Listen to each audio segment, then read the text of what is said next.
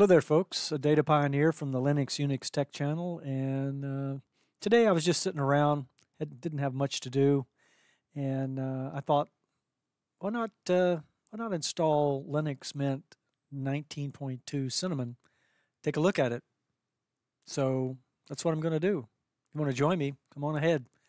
I'm going to install and review Linux Mint 19.2 Cinnamon. Let's take a look at it. Okay, I'm in uh, VirtualBox right now. Get my VirtualBox server set up, and I'm going to go ahead and click Machine and New, and set up the Linux Mint 19.2 Cinnamon. And uh, so I'll give it a name, Linux Mint 19.2, and it's based on Ubuntu 64-bit. So we'll select uh, Ubuntu 64-bit here. I want to give it a fair amount of memory. Uh, I've got 16 gigs here on the main PC, but I'll give it uh, 4 gigs, 4096 megabytes.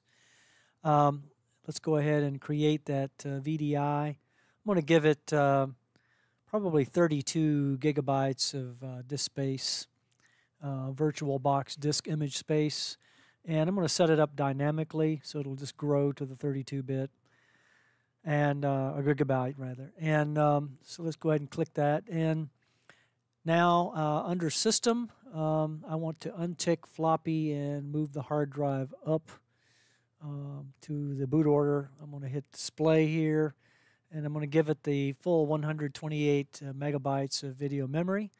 And I'm going to select VBox uh, VGA and uh, enable 3D acceleration. All right, under um, storage, I'm going to select um, the usual, which is my ISO for um, Linux Mint 19.2 Cinnamon.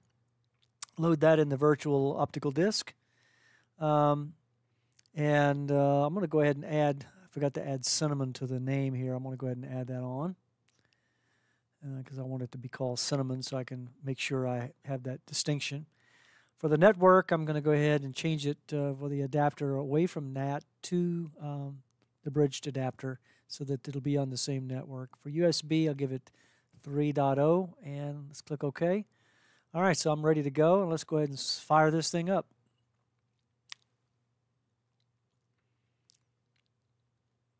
So as usual, what I'm going to do is I'm going to click View here and go to full screen. Full screen mode, I like full screen mode. I'm going to let it go ahead and boot up automatically here.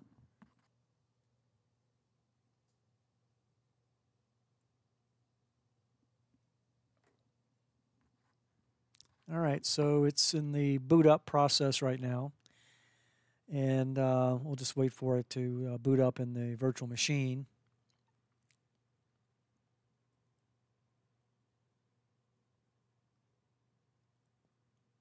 All right, here it comes, Linux Mint 19.2.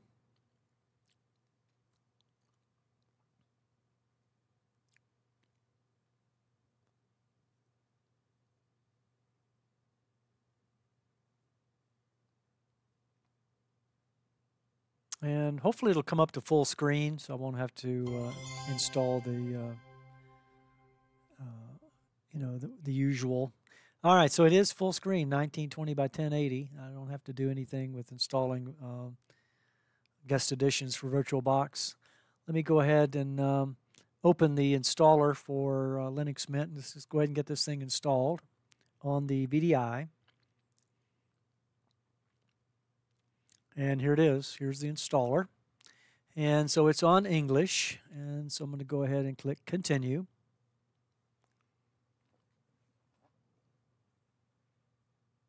And we're on the English keyboard, US. That's good. And we'll go ahead and click continue here.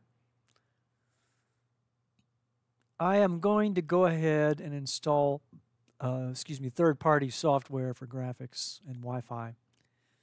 Even though this is hard uh, wired here, uh, connected Ethernet to the router, uh, I do want to take advantage of the third-party graphics. And so I'm going to click continue and let it go on.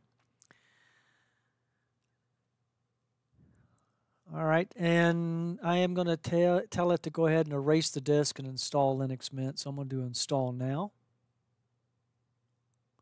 And we're getting the writing the changes warning here. So if when I click continue, it will write the changes.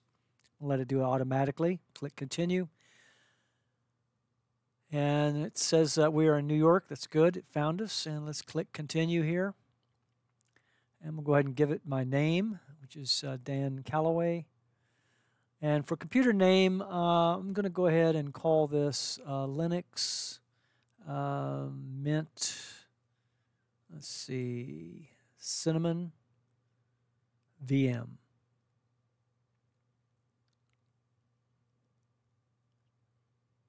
And uh, maybe I should stick 19.2 in there. Okay, I'll put 19.2 in. So that's Linux Mint 19.2 Cinnamon. Uh, for username, um, I'm going to go ahead and tell it uh, that it's Data Pioneer. Go ahead and put in my, my password here and confirm it. And um, let's go ahead and continue. I never do the login automatically. All right, so it's copying files right now. And um, this is going to take a while, but I'm going to let it go on for a little bit and then I'll stop the video and then pick it back up when it's finished. Just want you to see um, some of the process of how it installs using this installer. I'm not quite sure which installer this is. It might be the Calamares installer. I'm not really sure. I know it's not the Anaconda installer. Uh, but doesn't matter. Um, it is the installer nonetheless. And so it's copying files right now. I'm going to let it go ahead and finish the copying files process and then get into the actual install. And then I will, as I said, I don't want to have you sit through this whole thing. I'll just go ahead and um, uh, pause the video and then come back when it's uh, completed or near completion.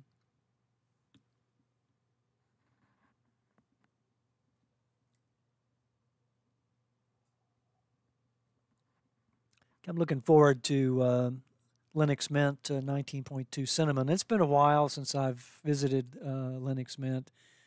I believe this is one of the most popular distros of the Mint family, uh, the Cinnamon 19.2. Cinnamon desktop is uh, probably the most popular. I know for sure out on DistroWatch it is. Uh, and for the Linux Mint community, I'm pretty sure it is as well. Um, it is based on Ubuntu, as I said, and uh, it's a nice distro. I, I, really like it. It's really clean. I like the desktops uh, that, that you're presented with. Um, and I enjoy using Linux Mint. It uses the Aptitude Package Manager, as you're familiar with, with Ubuntu. Um, and so it would be no surprise to anyone uh, using uh, Linux Mint 19.2 and so once uh, once this thing gets installed, we'll go ahead and boot up and uh, we'll take a look at it, see what we got, see what all, all the features are that we have. And, um, and so you can join me and um, we'll just take a look at it together. Got nothing to do today. I thought, hey, I don't have anything to do. Um, got time to kill, so let's install Linux Mint 19.2 Cinnamon. So that's what we're doing. Okay, so it's still copying the files, and um, it's uh, running you through some of the features uh, through the slideshow that it has. It's common that uh, Linux Mint does that. Uh, so you can watch movies and videos. It's a pretty sharp video rendering here, uh, as I understand with Linux Mint. And uh, the codecs are fully supported, and VLC Media Player, I believe, is the default media player. All right, so it's still copying files.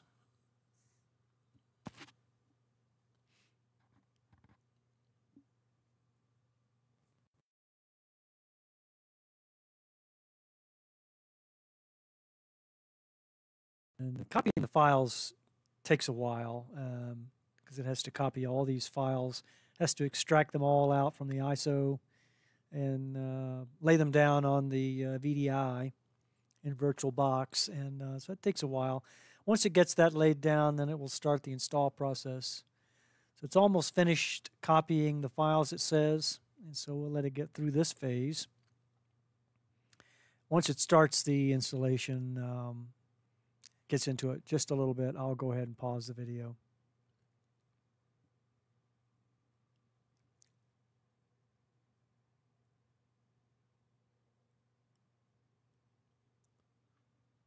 Okay, so it's uh, begun the installation of the system here. And as I said, this is going to take a while. It's not going to take too long, but it is going to take a while. Uh, and when it ramps up, I'll go ahead and pause the video, and then we'll come back when it's almost completed or completed.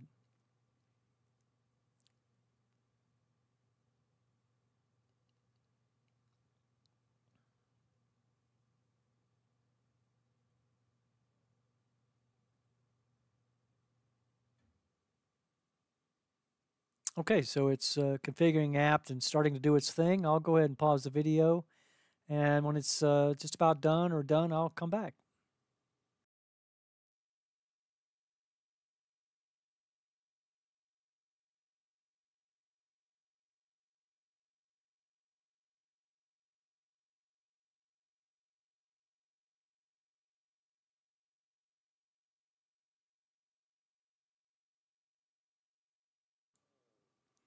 Okay, so it's just about done now. It's uh, running the depackage, uh, completing the removal of packages that it doesn't need any longer, and um, it's installing the system and doing some other things. So we're just about finished with this install process. So I thought I'd come back and uh, join you here and let you see what's going on. Uh, it has been about five minutes or six minutes or so. It's so it's not been too long.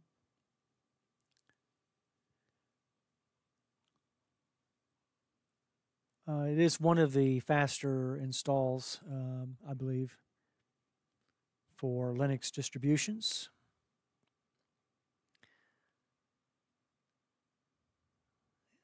And uh, we shouldn't uh, have much longer to wait here.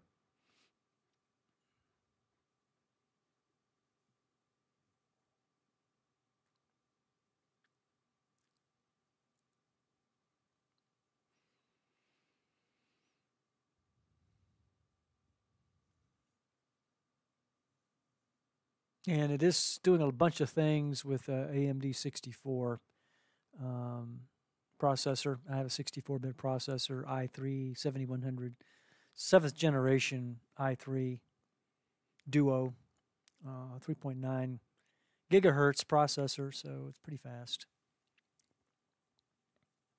And I, am really uh, liking VirtualBox 6.0. Uh, I think it does a great job.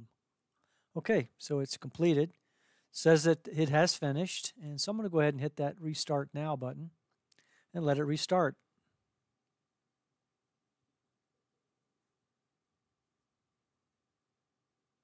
All right, so Linux Mint uh, 19.2 is restarting. I've already removed the uh, media, so I'm going to hit enter. And um, should be coming back up now.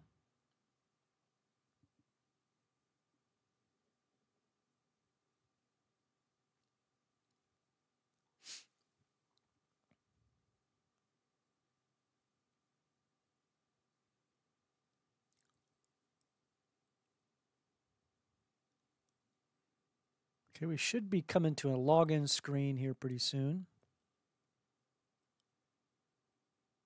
And I'll go ahead and enter the password for Data Pioneer. All right, here we go. I'm going to go ahead and enter the password and log in.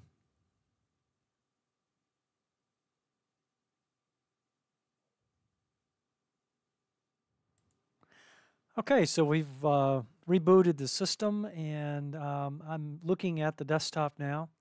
We're in uh, Linux Mint 19.2 Cinnamon. Looking pretty good. Uh, like the desktop, really crisp, sharp uh, wallpaper that they have here. I'm really liking this. Um, it's been a while, like I said, since I've looked at Linux Mint. So let's take a look and see what we have here. We've got off the right-hand side here got the printers icon, we've got a network icon, we've got a volume icon, and we've got calendar. It is the 26th of August, and uh, I can do my date and time settings if I want to here. It says it's 1448, which is correct, but that's 24 hour time.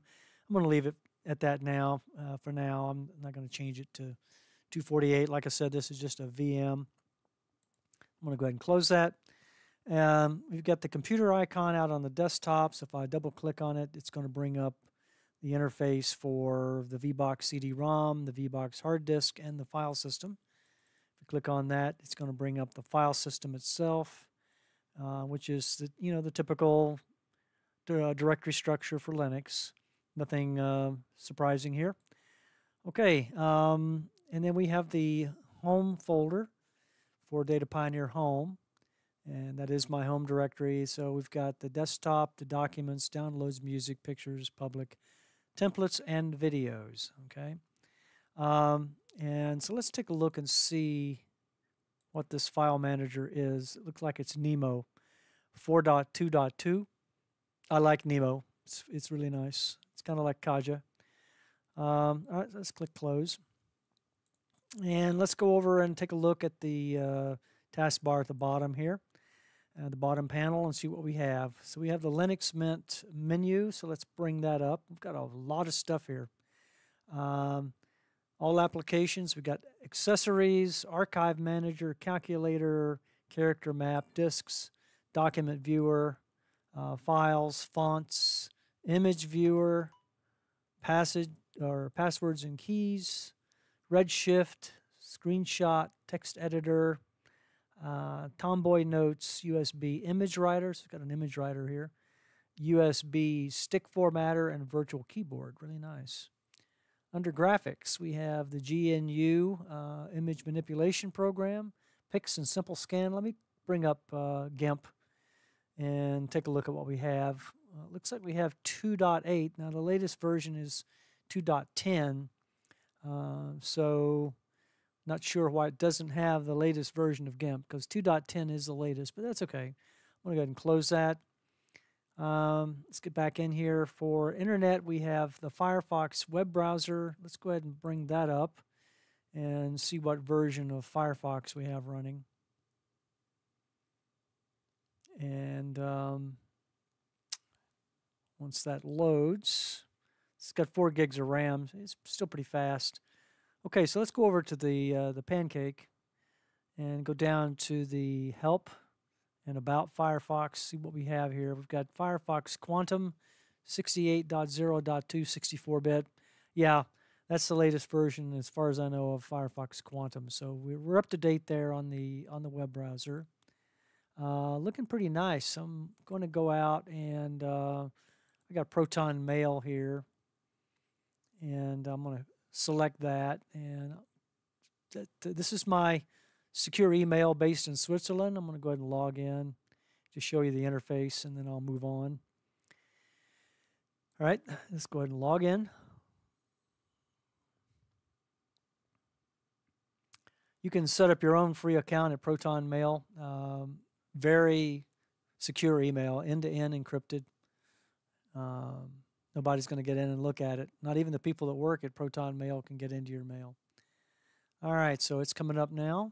And here in a few seconds, we'll get that interface up. All right, here we go. All right, so this is uh, Proton Mail. I'm going to go ahead and close it down, log out. And let's go ahead and close the browser and close the tabs here. Let's get back into the menu and go back up to Internet. And we've got HexChat, which is an Internet relay chat. We have Thunderbird Mail for those people who want a client for their mail. As you just saw, I, you, I use a web-based mail for Proton Mail, so I have no need for the Thunderbird. I can remove it if I want. And then Transmission, which is a BitTorrent client for um, Linux Mint. So if you want to do a straight download, you can do a BitTorrent download. Can be faster that way. Under Office, it looks like we have the full LibreOffice suite. I'm not a big fan of LibreOffice, so I would probably replace this with WPS or um, OpenOffice, something like that, uh, or uh, you know some some other form of Office suite. Um, Okay, sound and video, we have got the media player, we've got Rhythmbox, we have VLC media player, which is nice. Universal access, we have the on board, the administration, we've got the backup tool, which is good. the disk user or usage analyzer, the driver manager, and I'll take a look at that later on uh, down the road for that driver that I install. We've got login window, logs, power statistics, uh, printers. We've got a printer interface here, software manager. Let's click on that and see what we have. In the software manager, when it comes up, um, uh, let's see what we have here. Okay, here we go. Uh, these are the editor's picks. We've got Audacity, Calibre, Spotify. We've got a full host of, of things here. Uh, here are the categories that you can select from accessories, internet, sound and video, fonts, office, just to name a few. Um, even programming here. So from here, you can install just about anything to your heart's desire here. Uh, a lot of these things are not installed already, and you can go ahead and install those. Linux Mint gives you a full plethora here of, of things to install. Software Manager is the way to do it. All right, so let's go ahead and close that. And let's get back into uh, administration, uh, software sources, Synaptic Package Manager. So we do have the Synaptic Package Manager already installed out of the box. System monitor, uh, system reports. We have the terminal. Let's take a look at terminal. So this is the terminal. I would uh, obviously go ahead and uh, uh change this for my own liking. I'm going to see if htop is installed. It is not, so we'd have to install it. Let's go ahead and do that. sudo, whoops, sudo apt get install htop. And let me put in the password.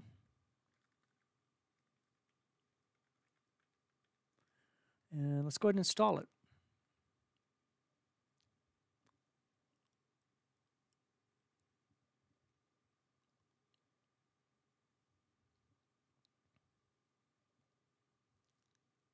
And so while H, htop, all right, it's finished. Okay, so htop is finished. Let's clear the screen and let's run htop.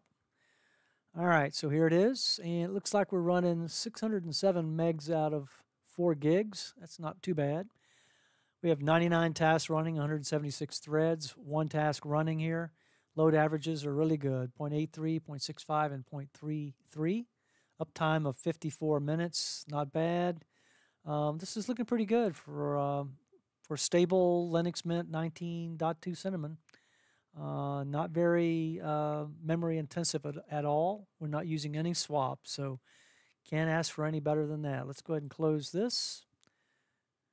Close the terminal. Let's get back in and uh, see what else we have under administration. Um, I think we were at Synaptic Package Manager, System Reports, Terminal, Timeshift, Update Manager, and users and groups. I'll do the full update later of the system. Under preferences, we can do date and time, desklets, desktop, disks, display. Let's take a look at the display. I am running uh, 1920 by 1080, uh, normal resolution, so don't have to worry about installing the VirtualBox Linux editions or guest editions. All right, so I'll go ahead and close that. Uh, let's get back into preferences and uh, so we are now at uh, effects and extensions, firewall configuration, font selection, general graphics, hot corners, uh, input method, keyboard, languages, mouse, and we got a bunch of stuff here. Mouse and touchpad, network, network connections, notifications, online accounts, panel. So you can uh, change your panels here.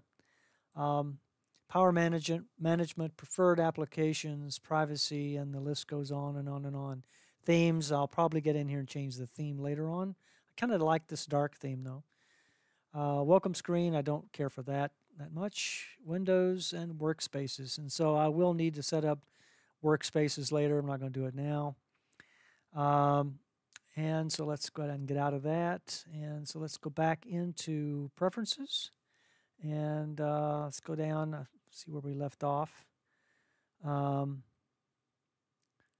let's see. I think we were just about finished. Yeah, places, we've got those identified. Recent files, you can pull those up as well.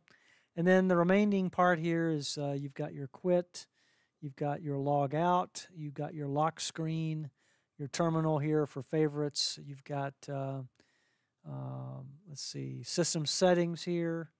Uh, you have the software manager and you have the web browser. So our system settings, I think we've already looked at that. No, we didn't.